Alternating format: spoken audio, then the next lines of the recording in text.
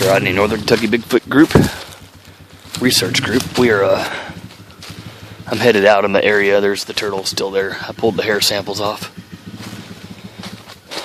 Tom and Sierra are heading out. There.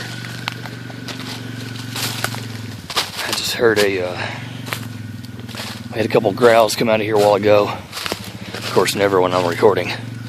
And something pushed over a large dead tree. And as you can tell, there's no wind in here. So something definitely pushed it over. Uh, I'm getting ready to walk right through the spot where it happened. So, least as close to it as I can get.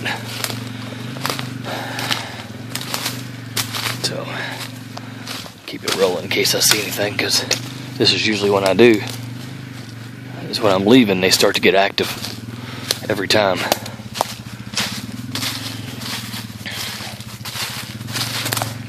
It's almost like they don't want me to leave.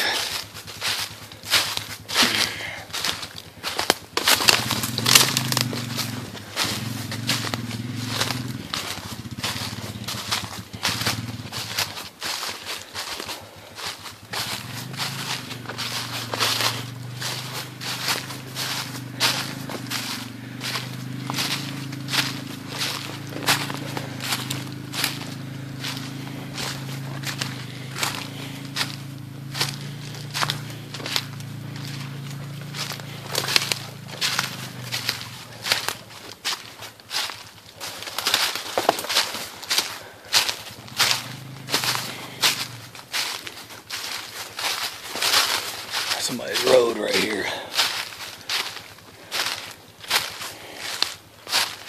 Somewhere down in here